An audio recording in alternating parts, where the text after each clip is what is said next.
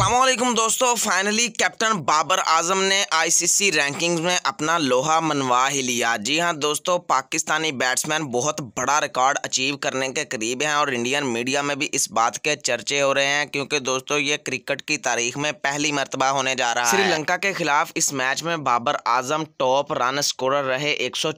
run उन्होंने दोनों innings में स्कोर किए और पहली इनिंग्स में तो तने तनहा लड़े दूसरी इनिंग्स में अब्दुल्ला शफीक ने साथ निभाया और दोनों ने मिलकर पाकिस्तान टीम को एक मजबूत पोजीशन में लाकर जितवा दिया तो लेटेस्ट आईसीसी रैंकिंग्स में अब्दुल्ला शफीक और कैप्टन बाबर आजम की बहुत बड़ी तरक्या होने जा रही हैं जी हाँ दोस्तों अब्दुल्ला शफीक के आप इंटेंट से वाकिफ़ हैं 160 रन उन्होंने बनाए पाकिस्तान टीम को एक मजबूत पोजिशन में लाकर खड़ा कर दिया है ICC world test championship point table पर अगर अब्दुल्ला शफीक शायद टॉप टेन बैटिंग रैंकिंग्स में आने वाले हैं आईसीसी न्यू रैंकिंग्स में मगर दोस्तों कप्तान बाबर आजम अपनी सेंचुरी हिस्ट्री की बदौलत बहुत सारे पॉइंट्स इकट्ठे करने के बाद आप टेस्ट में भी नंबर वन बनने जा रहे हैं जी हाँ दोस्तों ये पहली मरतबा होगा कि कोई बैट्समैन तीनों फॉर्मेट में नंबर वन रहा लाइक करें सब्सक्राइब करें अल्लाह हाफिज़